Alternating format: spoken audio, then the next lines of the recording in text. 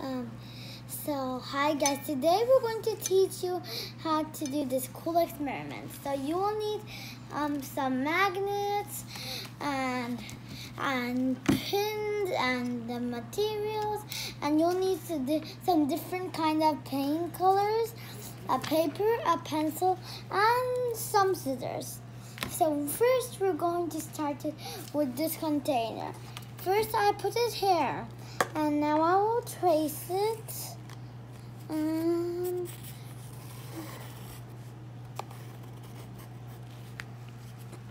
and now I'm going to cut it out. Um,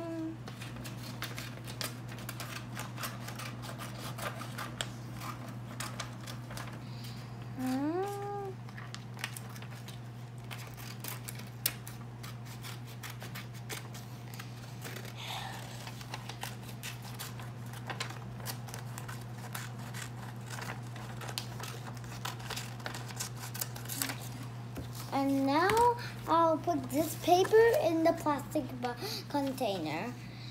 So, and now I will need um, some pins and these metals and some a little bit more more magnets.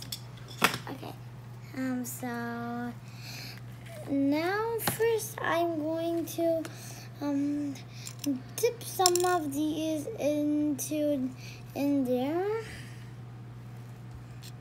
Um, and then red, and then one yellow, and then more, some pink.